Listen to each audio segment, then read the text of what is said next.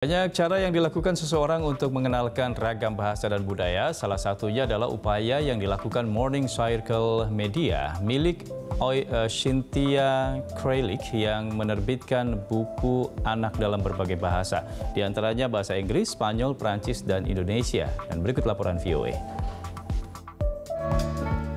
Uh, my name is Cynthia Krylik, and I'm the publisher and founder of um, a bilingual children's book publishing company called Morning Circle Media. Berbeda dengan penerbitan lainnya, Morning Circle Media di Orland, Pennsylvania, didirikan Cynthia Krelik dengan misi mempromosikan kemampuan literasi dwi bahasa sejak dini dan pemahaman lintas budaya. I feel that Morning Circle Media has a unique mission to um, address and elevate people of color. We have so many immigrants here, and the richness, the creativity that comes from harnessing all the creative potential of our immigrants, our immigrant communities, is invaluable. Ada 15 buku yang telah diterbitkan Morning Circle Media sejak 2011. Sebagian ditulis Cynthia dalam bahasa Inggris dan Spanyol, bahasa kedua yang dikuasainya. Buku lainnya ditulis dalam bahasa Inggris dan Prancis, Arab, Creole, juga Indonesia.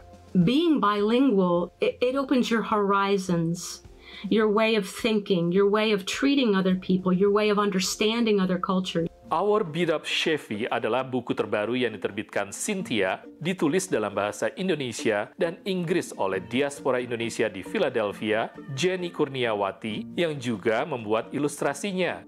Buku ini mengisahkan pengalaman masa kecil Jenny berwisata naik mobil tua kakeknya di Jawa Timur. Mereka memang mendedikasikan uh, visi mereka untuk anak-anak, pendidikan anak-anak, untuk supaya mereka mengerti apa itu perbedaan ras, perbedaan uh, bahasa, apa itu komunitas. We have um, another Indonesian English book, and this is about gardening and urban farming.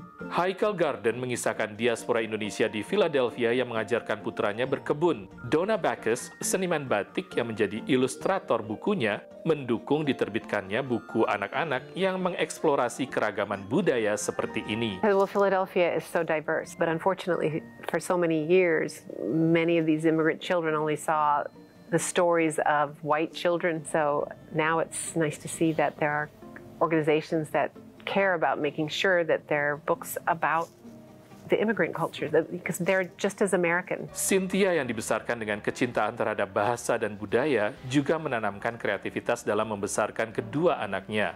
Salah satu putrinya, Elisa Kralik, bahkan menjadi ilustrator di beberapa buku yang ditulis Cynthia.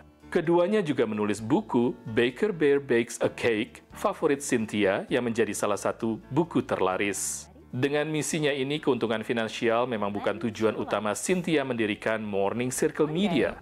A man with a lens needed to find. It ain't money. No, you know, because I'm a teacher, I think, and because I love culture and I love being with people and learning about other cultures, it it just feeds my soul. Saat ini, Cynthia dan Elisa tengah menyelesaikan buku The Rise and Fall of Sand Castle Town dalam bahasa Inggris dan Gaelic, Skotlandia yang terinspirasi oleh ibu Cynthia dan rumah tua miliknya.